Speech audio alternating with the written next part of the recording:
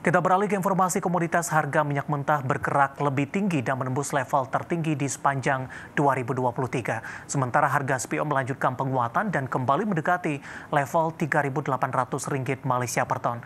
Kondisi berbeda terjadi pada harga batu bara yang kembali melandai dibayangi kebijakan suku bunga tinggi.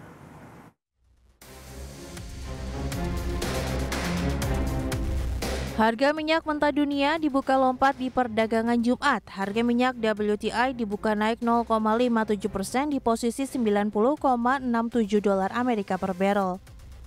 Minyak mentah Brent dibuka melonjak 0,34 persen ke posisi 94,02 dolar Amerika per barrel. Raihan ini merupakan level tertinggi harga minyak di sepanjang 2023. Sebelumnya di Kamis minyak WTI juga ditutup melesat 1,85 persen dan Brent juga naik 1,98 persen. Kenaikan harga minyak imbas dari ekspektasi pasar atas berkurangnya pasokan dan meningkatnya persediaan minyak mentah Amerika Serikat.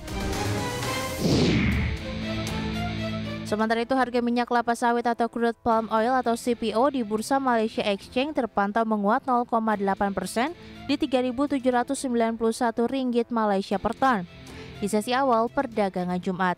Sebelumnya di perdagangan Kamis, harga CPO juga ditutup menguat 0,94 persen ke posisi 3.761 ringgit Malaysia per ton.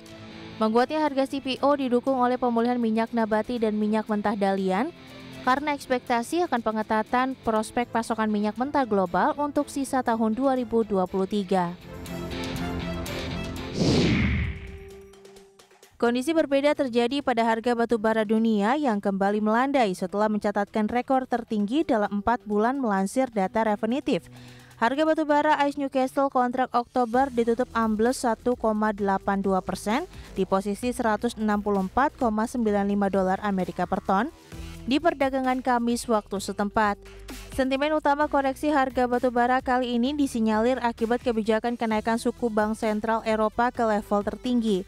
Kenaikan suku bunga akan berdampak pada tingkat agresivitas industri sehingga penggunaan energi juga akan menurun. Berbagai sumber IDX Channel.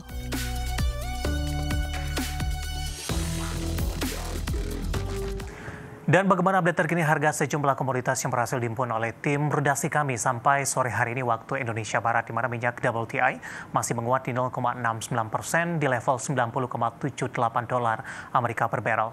Nikel melemah di 0,21 persen di 20.301 dolar Amerika per metric ton. Emas menguat di 0,30 persen di 1.938,75 dolar Amerika per ounce. Sementara CPO menguat di 0,79 persen di 3.791 ringgit ringgit Malaysia per tonnya.